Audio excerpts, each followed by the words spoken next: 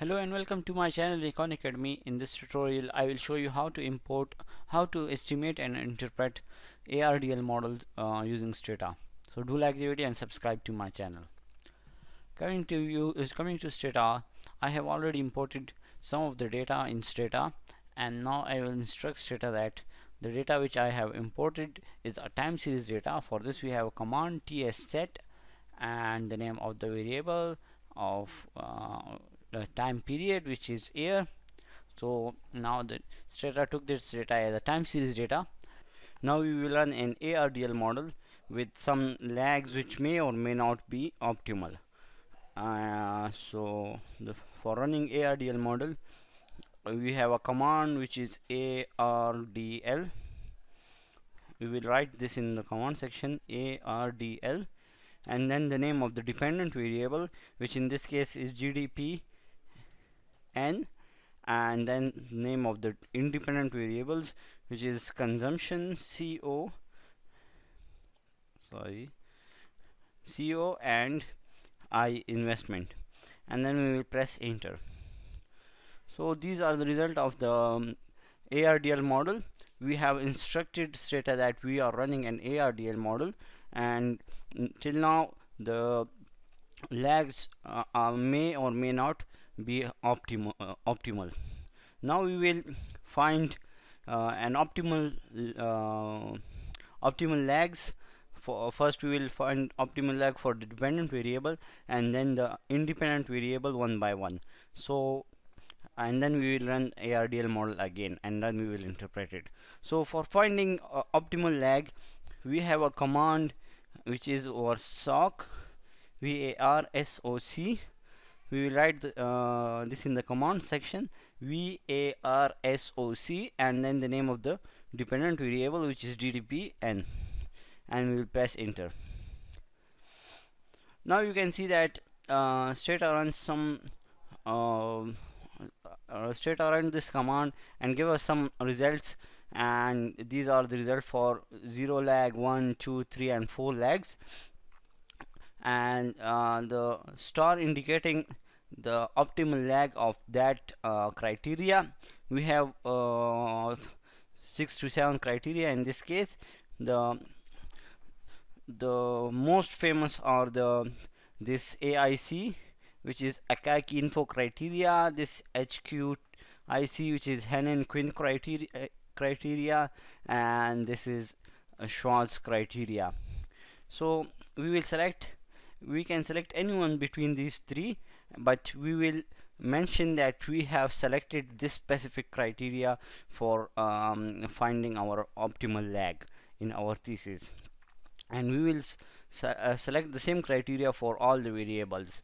So now I, uh, I want to select AIC criteria and and according to AIC criteria the steric is on the fourth lag uh, so which means that according to AIC criteria the um, optimal lag for the dependent uh, variable the optimal lag for the GDP is uh, 4 lags. Now we will run the same command for consumption and then for investment. Uh, for consumption VAR SOC CO is the consumption we'll press enter. And the same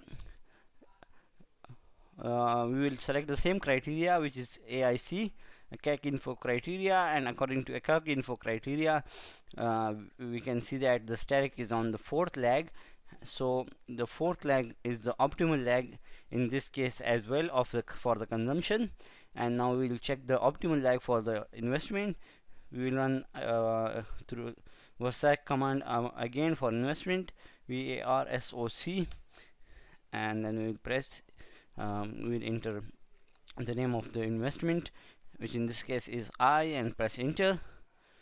And according to Akaike info criteria now the steric is on the uh, steric is on the the second lag so we, the according to Akaike info criteria the optimal lag for the investment is the second lag. So now we know our optimal lags for the dependent variable.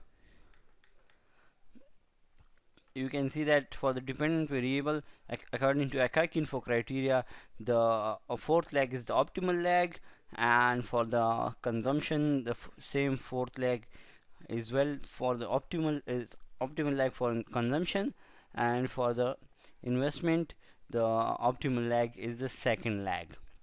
Now we will run uh, our model again with the with these optimal lags and we will interpret the results. For running this model again with optimal lags we will uh, again uh, give the same command ardl and then we will uh, write the name of the dependent variable which is gdp n in this case and then the name of the independent variable which is consumption and investment. And then we will put a comma and we will specify lags now which is we will uh, write lags and in the parentheses first we will um, uh, write the lag optimal lag of the dependent variable which was 4 and for the consumption which was also 4 and for the investment which is 2 and we will uh, close the uh, brackets. And we will press enter. Now you can see that this was our command and this was the optimal lags which we have given. So according to our optimal lags the uh, fourth four is the optimal lag for dependent and four is optimal lag for the consumption and 4 is optimal lag for uh, 2 is sorry 2 is the optimal lag for the investment. And these are the results. So first of all we will interpret some of the results.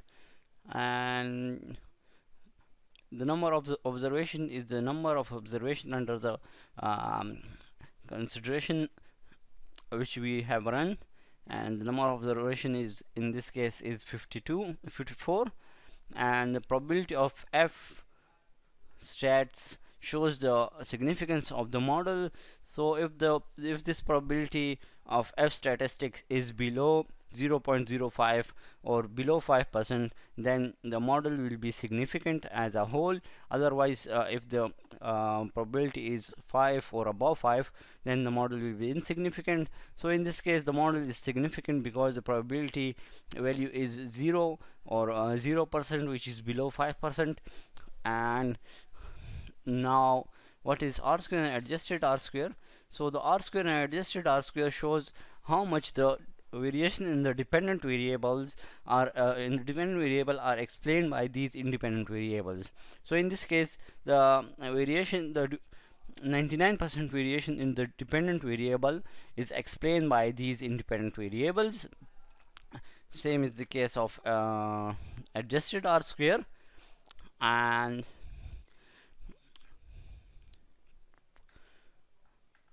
and these are this is the dependent variable GDPN and these are all the independent variables.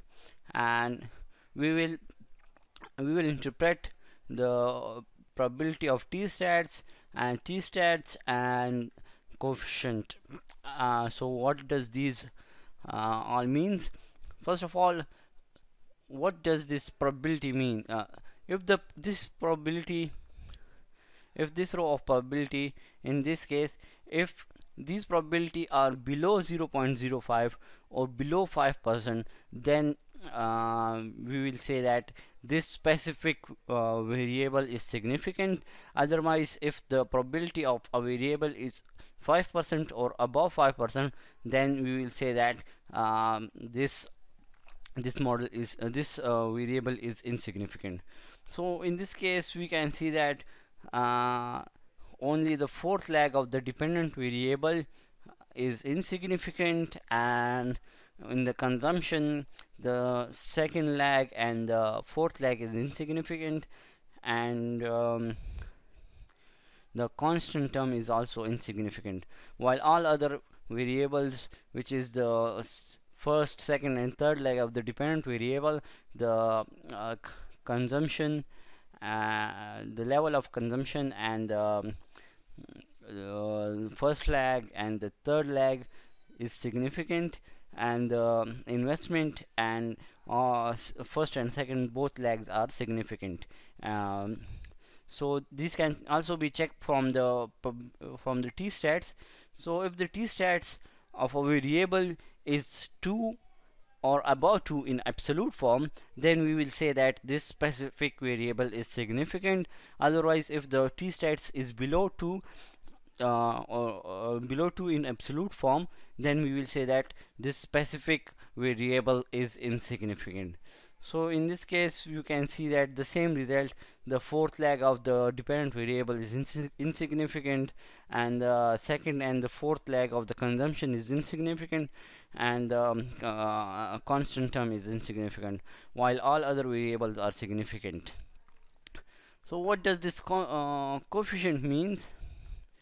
Sorry uh, these this coefficient and this coefficient and these coefficients uh, so what does this uh, the value of this coefficient means? So uh, if uh, let's suppose the value of co uh, coefficient the coefficient value of the consumption is 2 you can see that coefficient value of consumption is 2.1 so we will say that if the uh, consumption increased by 1% then the GDP will be increased by 2.1% in the short run or we can say that if the consumption increased by 1 then the GDP will be increased by uh, uh, the GDP will be increased by 2.1 in the short run keeping other all things uh, same.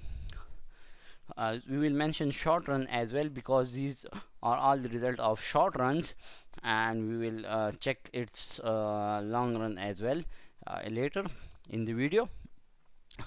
And this is how we interpret the con uh, consumption.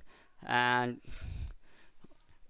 you can see that some of the variables have a negative sign with the consumption uh, with the sorry with the coefficient. So how we will interpret this uh, type of negative sign?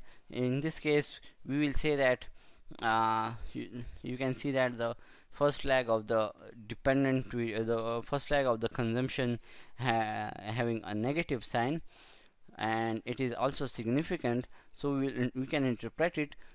So we, we, will interpret it like this that if the uh, the coefficient is minus 1.94 so we will say that if, uh, if the uh, if the first lag of the consumption is increased by 1% uh, then the GDP will be decreased by minus minus 1.94 percent. So we will say that uh, it have a negative it has a negative impact on the dependent variable. While if there is no sign then we will say that it has a positive sign uh, it have a positive impact on the dependent variables so this is how we will interpret it. But we uh, if we interpret ARDL model you must specify that these are results of short run not long run. So this is how we will interpret an ARDL model. Now we will check uh, bounds test uh, to check whether this uh, independent variable have a long run relationship on with the dependent variable or not. So for bounds test we will first instruct Stata that we also want to check the long run relationship. So for this we will uh, we will uh, we will run the same command again uh, of ARDL model with additional EC command which uh, which denotes the error correction model uh, which is used for long run relationship. So the same command that is ARDL and the dependent variable which is GDPN and the independent variable which is consumption and investment and comma and uh, the same lags which was optimal which was 4 and 4 and 2 and bracket close. This was the previous command which we uh, have uh, had run uh, for checking the short run results. Now we'll instruct Stata that we also want to check the error correction model for the long run. Uh, so we'll write EC next to the lag specified and we will uh, press enter. So these are the result of the uh, error correction model as well. Now uh, now we will check whether these long, uh, these dependent vari these independent variable have a long relationship with the dependent variable or not. For this we will uh, now run an a bounds test.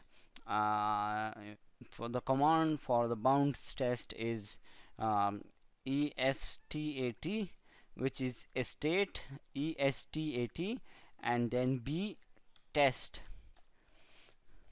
So the command for running bounds test after uh, running an ARDL model with the error correction specification is ESTAT and B test. So now we will press enter. So now you can see that uh, this was the command and this is the uh, these are the results. So for this we have to check uh, we can check through f stats and through t stats. So you can see that there is no value of fstats uh, there might be some problem um, in my data but uh, we can check it through t stats as well. So if you have an f stats value I don't have but if you have an fstat value then you will check it with this uh, with these two lags. These are the 5% uh, level of significance. This is the 10% level of significance. Sorry. This is 10% level of significance. This is 5% level of significance. This is uh, 0.25 uh, this is a 2.5 percent level of significance and this is 1 percent level of significance. So we mostly check with the 5 percent level of significance. So uh, if you have an f stat value then we will check whether if this um, this is called the upper bound and this is called the lower bound. So we will check if the this f stat value is above than this the upper bound level then uh, there will be a long run relationship with the uh, with the dependent variable of these independent variable. But if this fstat value is below this um, is below this lower bound then we will say that there is no longer a relationship between these two variables. So uh, we will stick to short run relationships. But in this case I don't have an f stat value so we can check it with the t stat value as well. So uh, these were the result. This is the table for checking and uh, fstats. You can see that from here. And this is the this is the table through which we can check through uh, t statistics uh, you can check it from here. So this is the lower uh, this is the 10% uh, level of significance this is 5% level of significance this is 2.5% level of significance and this is 1% level of significance. This is the upper bound this is the lower bound and this is the I naught is the lower bound and I1 is the upper bound. The same is the case with all the uh, level of significance. I naught is the lower bound and I1 is the upper bound. And one more uh, case I have uh, forgetted here.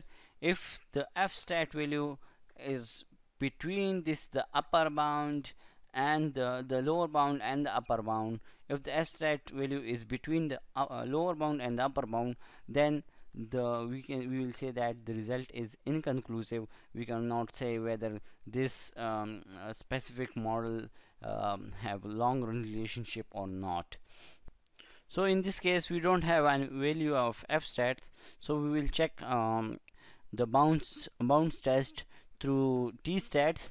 So this is the same and the upper lower bound and the upper bound and the lower bound and the upper bound. And the same goes on. The i naught is the lower bound and i1 is the upper bound and L, uh, L underscore 1 is the 10% level of significance. This is 5% level of significance. This is 2.5% level of significance. And this is 1% level of significance. We mostly check the significance level of, with the 5% level of significance. So if this t-stats uh, value is above this uh, up lower bound if the t-stats value is above lower bound we will say that um, the there is no longer a relationship and uh, exists there is no longer a relationship between the uh, uh, the dependent variable and the independent variable and there is no need for the error correction model. We will run only ARDL model. However if this t-stats is below the um, uh, the upper bound then we will say that uh, if this t stats is up uh, is below the upper bound then we will say that there is long run relationship between the uh, dependent variable and the independent variable and we have to run error correction model with the ARDL model as well. And if this t stats comes between the uh, between the lower bound and the upper bound then we will say that uh, the result of this bounds test is inconclusive. We cannot say whether this specific model uh, uh, whether these specific variables have long run relationship uh, or not. So in this case the t-stats value is minus 2.05 which is above than minus, uh, 2.86 uh, so which means that the t-stats value is above than the uh, the lower bound. So we will say that we will accept h naught which is no longer in relationship. So in this case we don't have a long run relationship so there is no need to run an ARD uh, uh, sorry there is no need to run an error correction model. We have uh, only we only have to run an ARDL model and interpret the results of the short run. But as not in this case but if we have um, lower value than the upper bound um, and if uh, we have a long run relationship which not which is not in this case then we have to run an ARDL model with the error correction model as well. So uh, in this video I will only show you how to run that and how to interpret that but uh, according to my results there is no long run relationship but only just for your understanding I have uh, I will run it. So for running uh, an ARDL model with the error correction model we will um, run ARDL uh, the same GDPN and the same consumption the same investment and uh, comma and the same lag specified uh, which were 4 4 and 2 and bracket close and we will write EC in the end of that and press enter.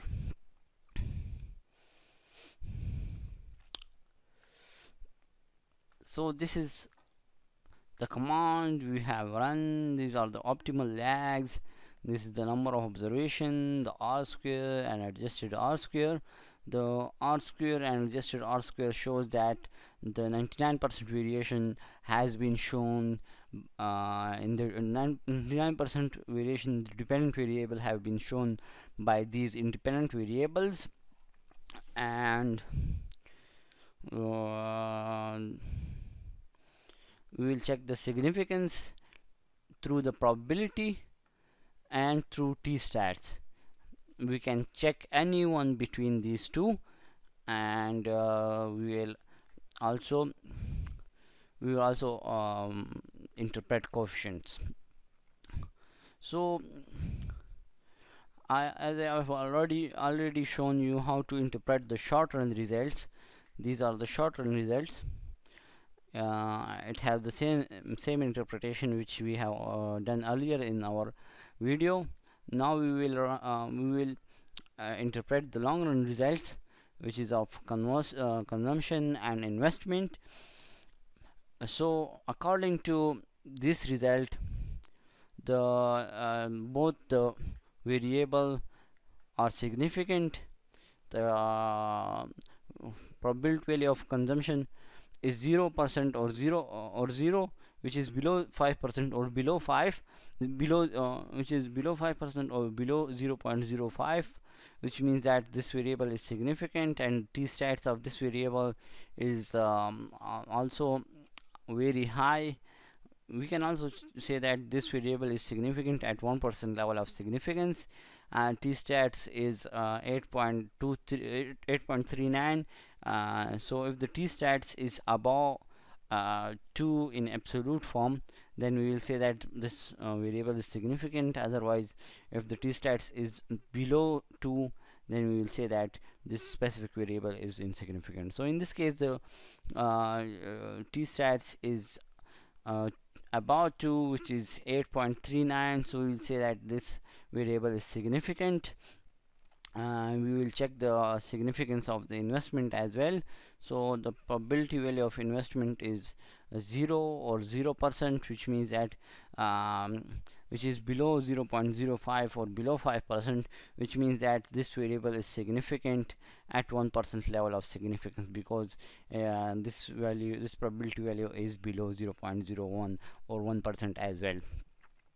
So the t stats of uh, investment is also higher than 2 so if the t-stats is 2 or about 2 in absolute form then we will say that this specific uh, this specific variable is significant. Otherwise if the t-stats value is below 2 then will, in absolute form then we will say that this uh, specific variable is insignificant. So in this case the investment is significant at 4 um, significant because the t-stats value is about 2 in absolute form.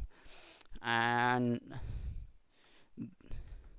this is the result of uh, this is the coefficient of consumption and this is the coefficient of investment.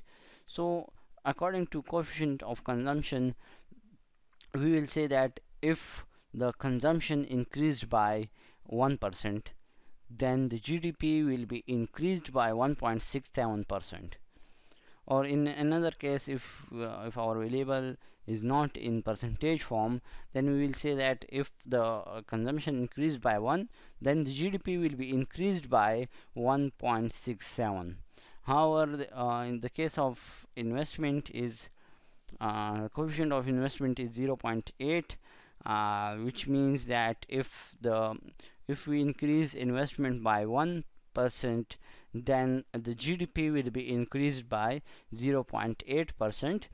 However if the variable is not in the percentage form then we will interpret it like uh, if the investment is increased by 1 then the GDP will be increased by 0.8 so this is how we will estimate and interpret an ARDL model and the error correction term of uh, error correction model uh, long run relationship through which we can uh, check the long run relationship and bounds test. So these are all uh, information about the ARDL model. So this is from today's tutorial. You can watch my other tutorials from my channel and you can also have uh, access it through the playlist which I have made. So do like the video and subscribe to my channel. Bye for now